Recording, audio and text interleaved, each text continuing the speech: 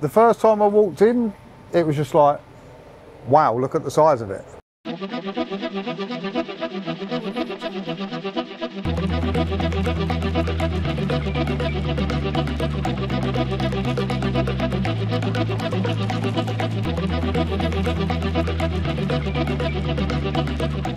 Every customer is different, but their general requirement is they need their piece of equipment back up as soon as possible. This is just a very, very different way of processing the work. It's more of a production line environment than a standard service mentality. It's more about volume, just being able to process the work a lot quicker without having to wait for things to happen.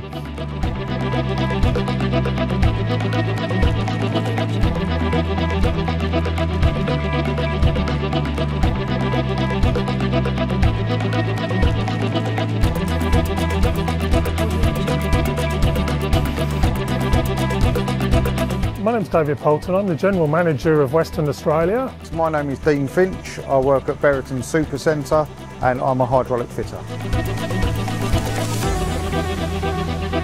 Our main focus is just cylinders. It's a different mindset from the service job mentality. The process is quite fluid. The workflow, the way it's been designed, everyone's now got their own section to work in. The whole process of someone stripping it then gets moved into another section for assessing and then it's machining and then it's for the assembly. Fact is it's 3,000 square metres of floor space. We've got two 20 tonne overhead gantry cranes. We've also got custom manufactured front suspension benches which make it more efficient and safer for us to put them together and test them and build them. We have up to 140,000 newton meters of uh, nut busting capability and we've also streamlined the process so we have the hot caustic washes to clean the components, custom built racking and specially designed benches to do other work. And just the ease of, for the transport as well where they've got the, the one in one out system. You know, it makes it easier for our guys to unload the lorries and it obviously makes it easier for the drivers too, which speeds up the process again.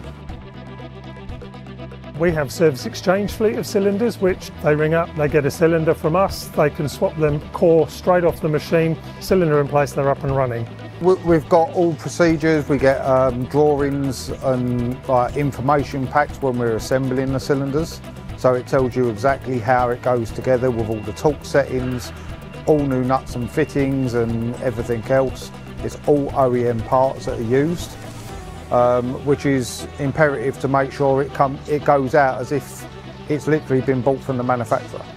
Before anything gets taken apart, uh, the cylinder will have four photos taken so we know that we can always refer back to it of port orientation and what's on that cylinder. It then goes into the stripping section and every single component as it's pulled apart has a photo taken of it. That then gets uploaded to FrontRunner it then goes into the assessing stage and again more photos are taken. Everything laid out on the desk so you can see a clear picture of all the components.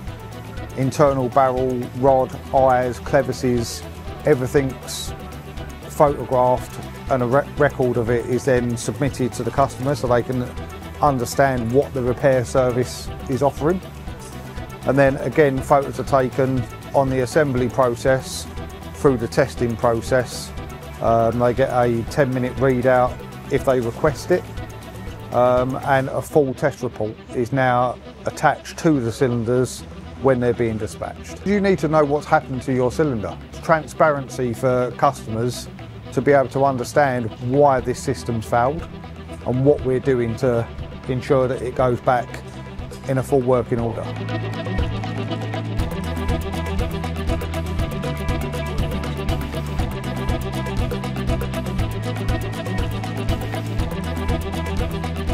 The growth strategy for the group is to actually build capacity so we can actually service our customers a lot better, a lot more efficiently and be more proactive in the marketplace to actually turn cylinders around faster for them.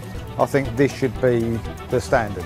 Sometimes you've got to step out into the deep blue sea to take a bold step and get everyone to follow. We like to lead from the front, that's what we do.